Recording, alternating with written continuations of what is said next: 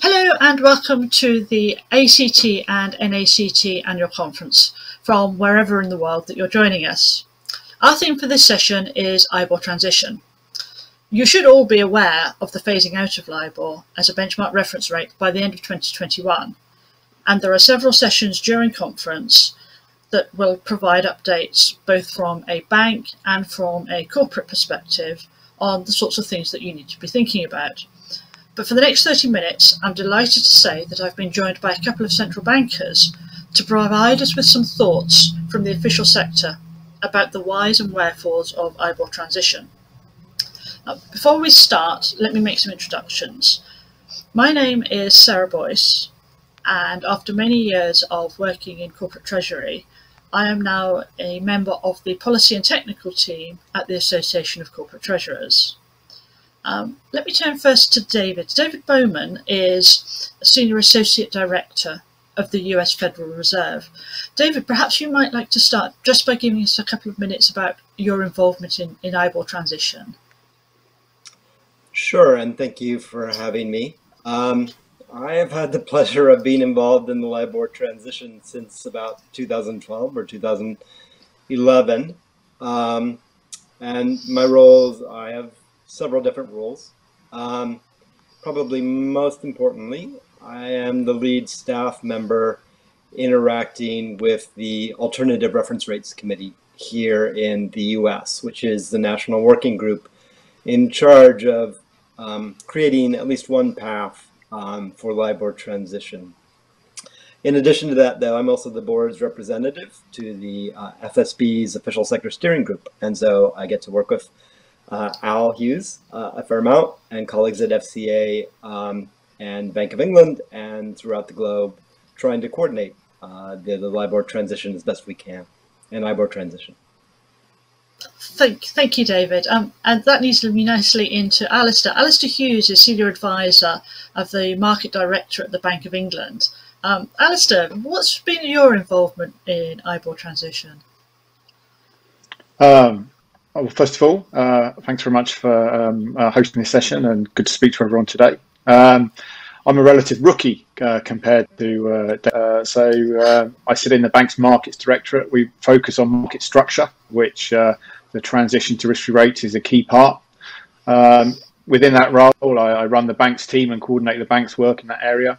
I also provide, my team provides support to the industry working group. Uh, we spend a lot of time working with both banks, financial institutions, but also corporates, end users and trade associations to help the industry smooth its way through uh, the transition. Prior to that, I spent 20 years as a uh, banking supervisor, uh, mainly supervising large UK and US GSIB groups. Well, thank you very much indeed. Um, you've clearly both got an awful lot of relevant uh, experience when we're talking about transition. So let's move straight into some of the detail. Um, Alistair, perhaps you could start us off by taking a step back and just explaining why LIBOR is, is no longer appropriate? Yeah, absolutely. It's a great place to start. Um, transition is always difficult. Is always difficult, and we know projects um, such as these consume cost, especially with so many of us working remotely um, at the moment. Um, that's why, if you do only take one thing from the virtual room today, uh, it, would be uh, important that the transition from LIBOR is both desirable, but it's also necessary. Um, it's not arbitrary, uh, and um, you know those that think we can limp along with the current status quo are wrong. Um, that move away from LIBOR is necessary to deliver a stronger, more stable, and transparent financial system, one that works for all market participants. Um, the properties of LIBOR um, are not hugely well understood quite often by, uh, by all uh, market users, but fundamentally, the market that LIBOR seeks to measure just does not exist in the same way that it used to, and it's not sufficiently active to continue to support the rate. There's global agreement on this point across all the LIBOR jurisdictions, uh, the Financial Stability Board and the G20. Um, and certainly there's no sign of, uh, these markets upon which LIBOR are based changing. Um, banks have strengthened their balance sheets um, uh, uh and they're less reliant on the wholesale interbank funding markets um, that underpin LIBOR. Um, those markets uh, contributed to some of the issues we saw during the financial crisis, and therefore the strength and liability structures we see in banks are incredibly important. And I think we saw the benefit of that recently through COVID, um, as the banks were able to continue to lend into the real economy. Also, that period of stress that we saw um, this year in March and April um, um, further highlighted the fragility of the rate. Um, as central banks took policy action to support the economy, LIBOR rates first of all tracked those rates, but then they spiked upwards. Um, and those upward spikes, which, which directly impact uh, the coupons that borrowers pay, were based on very limited transactions. Uh, certainly, some of the sterling measures based entirely on banks' expert judgments. Um, those low levels of activity make the rate fragile, and they also make it susceptible to liquidity and amplification effects, especially during those periods of stress. Borrowers should be exposed to robust uh, reference rates that are underpinned by real transactions, rather than being exposed to these market liquidity dynamics. That's why each of the LIBOR currencies has run a process to identify robust alternatives um, over the last few years. And their rates have been selected by the market and they're being implemented by groups that comprise both financial institutions but also end users across the cash and derivative markets. But I'll pause there. Okay, no, that's that's really helpful. I always think it's useful to provide a bit of context to these conversations. Um, so, so that's the problem, David. Uh, can we talk a little bit about perhaps what the solution um, looks like? You know, we we hear a lot about we've got these new reference rates, RFRs, alternate reference rates coming.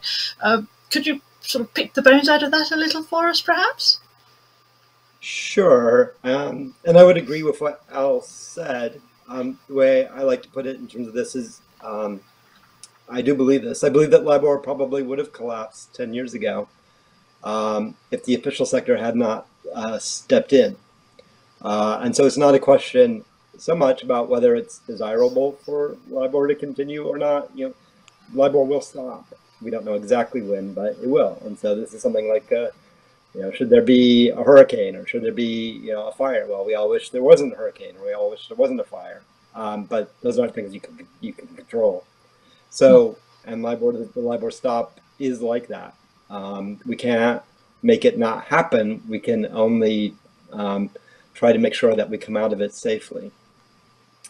So when we began thinking about this, um, almost 10 years ago, looking at the dynamics that Al has laid out, that the market that LIBOR is meant to represent is now very thin. Even the dollar, which is, you know, perhaps the currency of most transactions, there are very few. Banks don't want to continue to submit. So we're, you know, we didn't know what the timing was, but we knew that LIBOR could stop. And we knew that people were not prepared for that.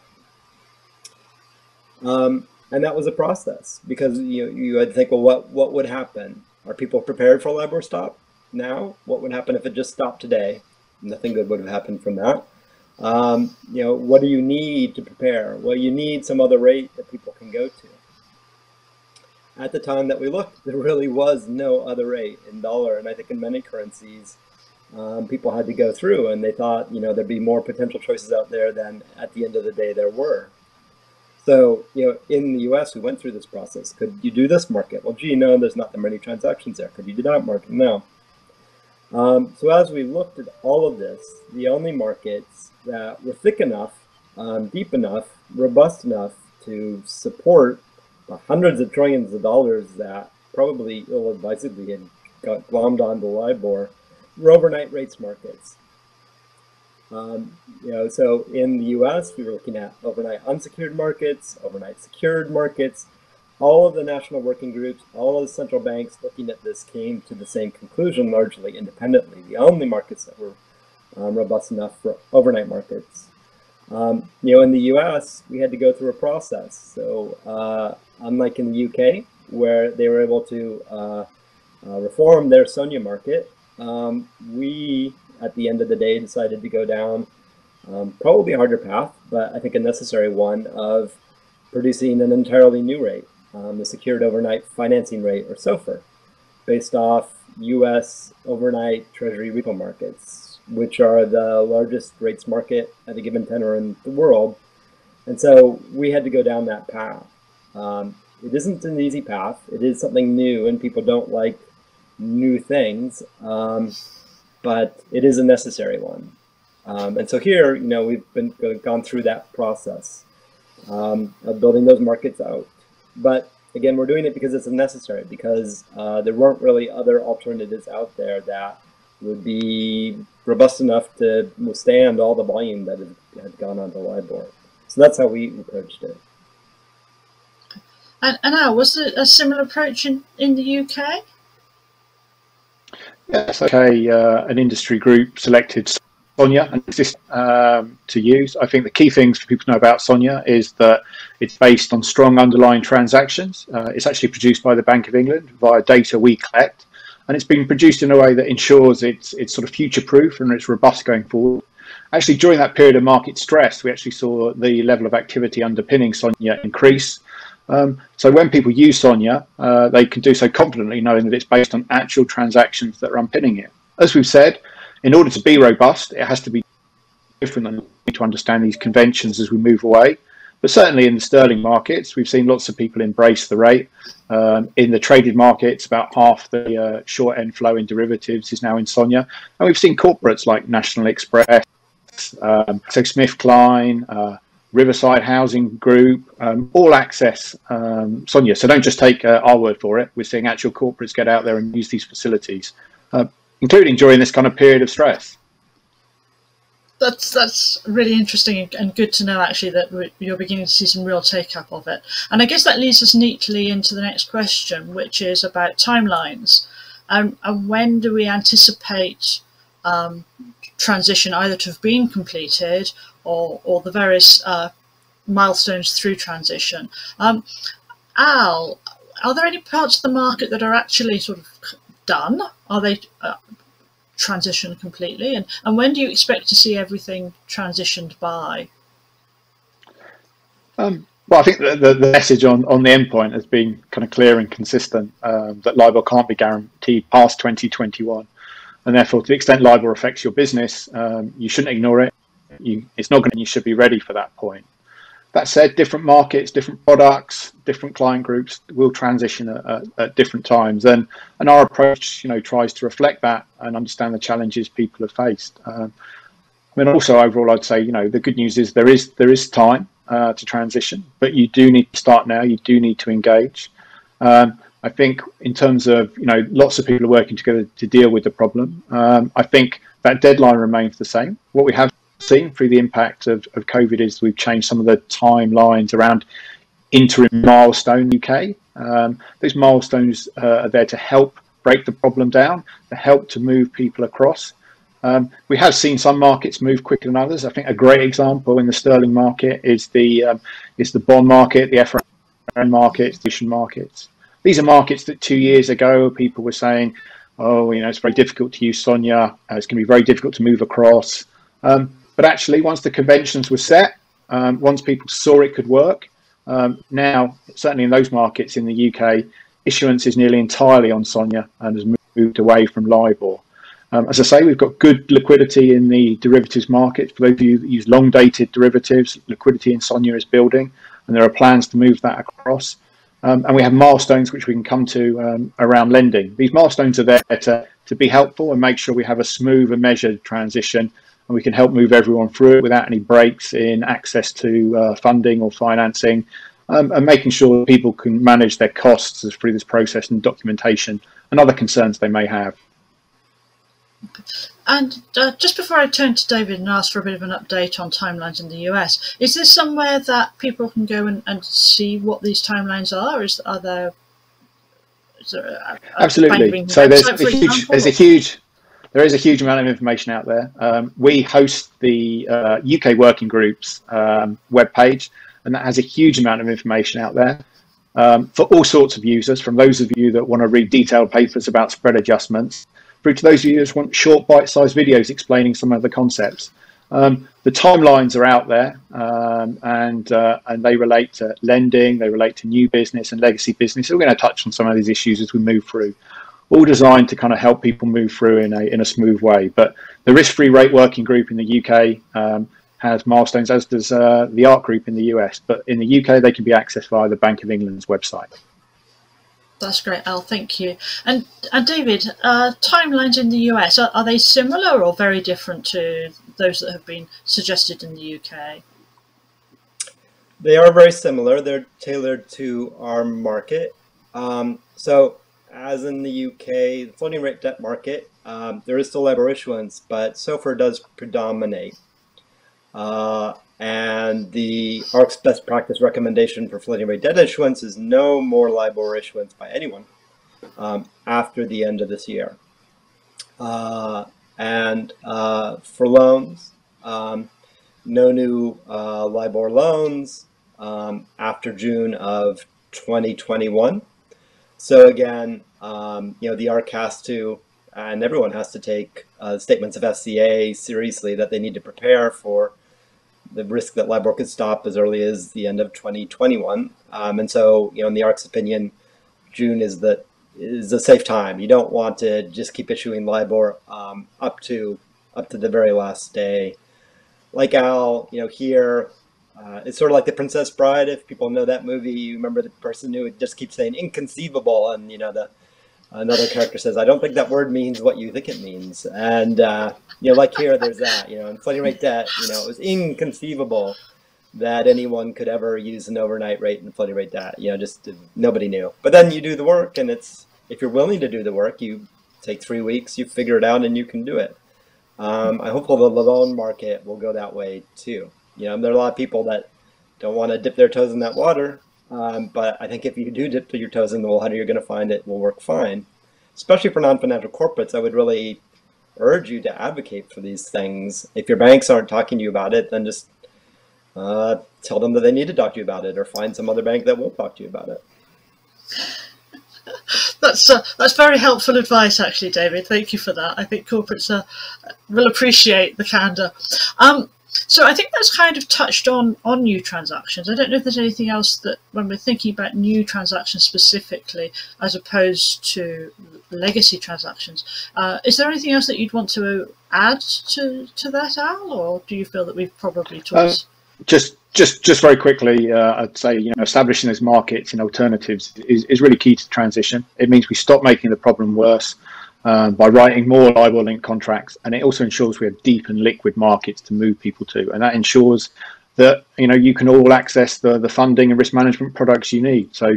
In the UK, actually, uh, at the start of this month in October, uh, UK banks should be actively offering alternatives in uh, in sterling uh, lending, uh, and uh, and if we expect to see that product offering there. So as David says, if someone's offering you LIBOR linked products, um, then you know question why, especially if they're going beyond 2021.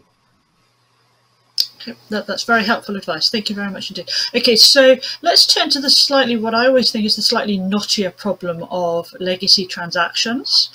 Um, how how do, does one go about thinking about moving those away from LIBOR, perhaps? Um, Al, is there anything that sort of points or tips you could perhaps offer on, on legacy transactions and how one might think about those? Yeah, sure. Uh, certainly, there, there's a lot of exposures out there. It'll be a, a big concern for many people who will have long dated financing and other products, or people who've entered into transactions more recently that perhaps don't have um, adequate or robust fallbacks to move them away from LIBOR. The first thing I'd say is understand where LIBOR is used in your business. Um, um, it sounds obvious, but you know LIBOR has been all pervasive. Um, so make sure you've got a good catalogue um, of your, uh, and where it's used, um, and then um, I'd say that start to speak to um, those those people that provide you with those products, uh, uh, especially where they mature beyond 2021, and then start to engage with them. in the UK, we've seen good examples of loans and bonds or FRNs all convert from LIBOR. Know, we appreciate those processes can be time consuming, but if you want economic certainty, um, that is the best move to go to uh, um, to start to look at what's been done in the market. Um, there are these things called fallbacks and switch language, which we haven't had time to go in today, but there's a lot of work on standardizing the, um, the language and documentation. People like the LMA uh, have been working hard to reduce the costs around moving uh, legacy business. Um, in derivatives, there is a ready-made uh, solution that we have been working, and David's been working longer than me uh, on with ISDA, um, which is which is a great solution that ISDA have worked hugely hard on to produce markets to move derivatives across, um, uh, which I really encourage people to look at um, and sign up to if, if they do have uh, such exposures. And then lastly, in the UK, the UK government um, has announced its intention uh, to legislate uh, to give the FCA greater powers to deal with what we refer to as the, the tough legacy, these transactions that really can't be moved. What I'd say is I wouldn't you know, it may be tempting to sort of re rely on on such a move. What I what I'd say is there are limitations to that. It is there as a as a seatbelt. Um, you shouldn't rely on it, um, but it, it is good to know that there is kind of help there for those contracts that you really can't move, um, and that work is progressing as well. And David, is there anything that you'd add on on legacy transactions in the US?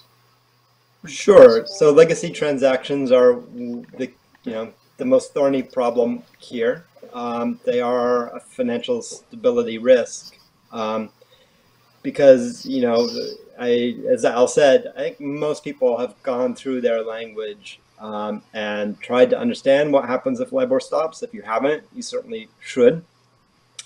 You're probably not going to like what you see when you when you work through that. Um, you know, and derivatives are a, a key example um, where, you know, if you, first of all, if you actually tried to find it in ISDA, you have to sort through 200 pages to figure out what would happen if LIBOR stopped. But if you can find that, the, you know, write paragraphs, you'll see if LIBOR just stops and then your derivative today, it would tell your agent, um, so probably your dealer, to call some banks in London or New York, doesn't say which banks, and ask them to quote your rate nobody thinks that you'll be quoted a rate. And then it's just simply silent, which means nobody will know what to pay or receive on those derivatives.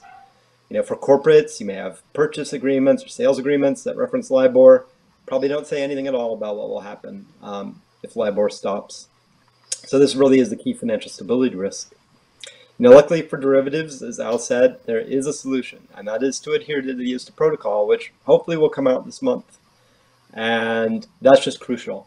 Um, there are very few choices other than that. Um, if you don't adhere to the ISDA protocol LIBOR stops, you're going to court, uh, as far as I could see. Um, and it may take a very long time for you to figure out what will happen to those derivatives. And probably at the end of the day, you'll just get whatever ISDA has said anyway, because that will be that is the market convention. If you're not going to adhere, then um, you should close out before LIBOR stops. And what I tell people is I would do both. I would adhere and close out. Um, you can try to renegotiate some of these bilaterally, but that that will be very challenging to do. So the ISDA protocol really is key.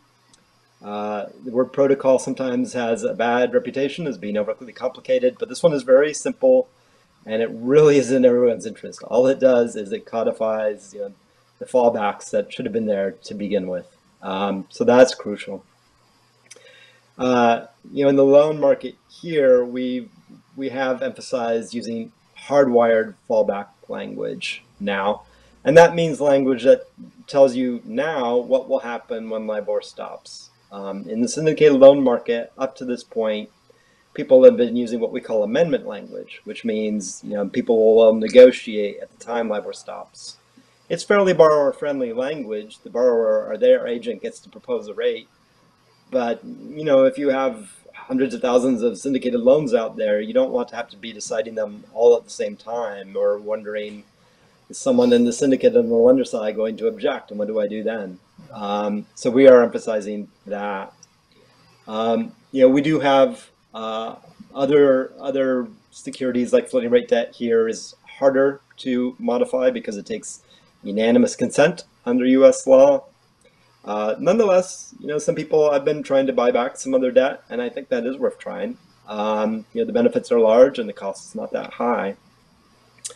But not all of that will be negotiated. In the U.S., so the UK um, legislative powers, um, you know, it's very good. I'm glad that they have those tools.